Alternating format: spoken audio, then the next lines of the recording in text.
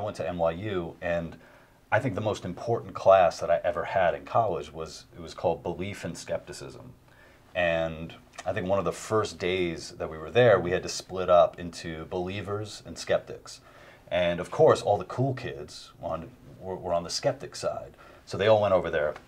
And then I was, I decided I was like, well, you know, I think I, there is some truth out there, so I'll be on the believer side. And we were supposed to have a debate, and I posed the first, the first question that I posed, or the, the first statement I said was, rape is wrong.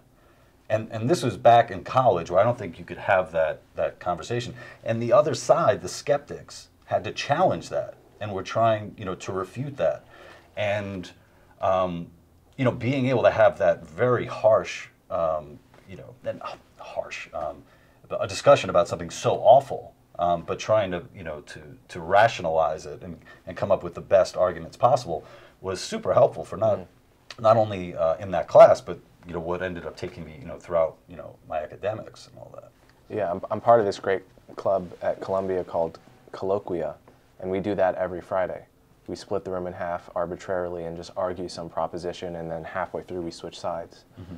Uh, it's the only club like that at Columbia, and um, we we just started, and we're trying to, you know, broaden our platform. And uh, but yeah, no, it, they're really it's it's crazy how much of the academic culture is the opposite of that. So when I go to the colloquia every Friday and do these meetings, it's like so refreshing because I don't get to do this in conversation with people. I don't get to do this in class for the most part.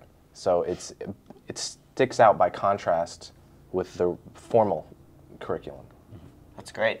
It just like separates morality away from just intellectually sparring about a thing. Yeah, because there is, you know, because there is, um, you know, this idea that um, to understand the reasons, for, you know, the arguments for terrible ideas doesn't mean that you actually have those ideas. It means that you have the tools to actually process what those ideas are, and then you're able to to I guess you know defeat them in, in some way. Yeah, there's a lot of really smart people with terrible conclusions, and like you can still learn a lot and improve your ability to like fight against those conclusions by arguing that type of stuff.